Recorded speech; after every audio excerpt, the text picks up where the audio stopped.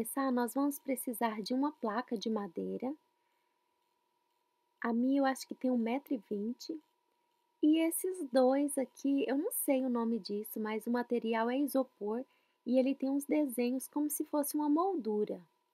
Aqui ele é usado para fazer acabamento no teto. Como vocês podem ver, eu tive ajuda e o meu marido mediu certinho, tirou uma parte ali que a minha filha já tinha usado essa madeira. Então ele deixou ela retinho para mim. E é uma madeira simples, um pouco pesada, poderia ser mais leve. Bom, agora a parte do isopor, ele mediu também certinho e cortou. Cortou dos quatro lados para ficar como se fosse mesmo um quadro, né? Aí ficou assim. Ainda não está pintado. Eu vou usar essa tinta, que o nome dela é Schoolboard, que é quadro negro, né? Próprio mesmo para você escrever. Ali ainda não estava pintado. Então, eu vou começar a pintar essas daqui, que serão as partes da moldura, né? Para fechar o quadro.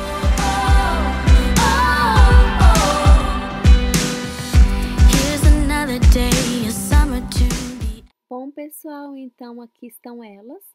Já estão todas pintadinhas. E elas ficaram assim. Eu gostei. E o próximo passo agora é pintar a madeira. Bom, então ela ficou assim, ela é uma madeira grande e ela já é preta. E até dá para escrever, só que eu vou usar a tinta própria para depois fazer riscos e desenhos, né, com giz. E eu vou pintar com esse rolinho. Então, vamos lá.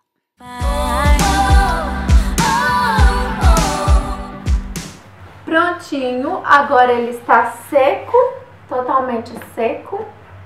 O que a gente vai fazer é colar as laterais aqui do isopor. Então, nós vamos achar o lado certo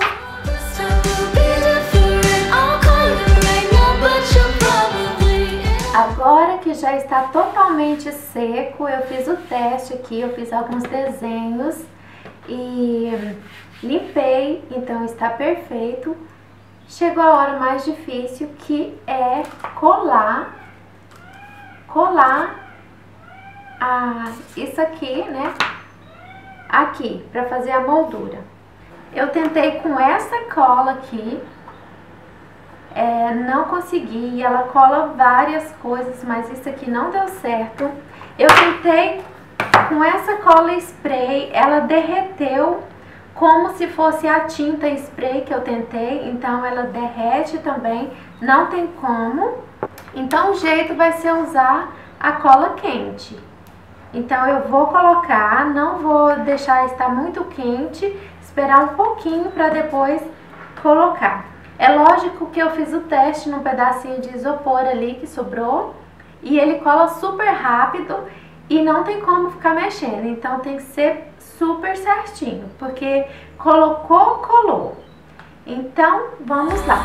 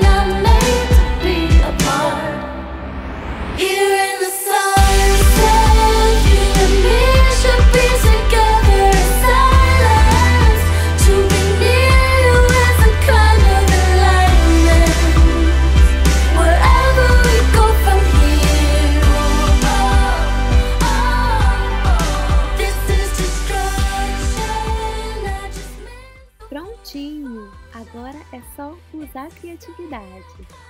Bom, eu espero muito que vocês tenham gostado. Se inscrevam no canal se é a primeira vez, deixe um joinha e muito obrigada por assistir. Um beijão e fiquem com Deus. Bye!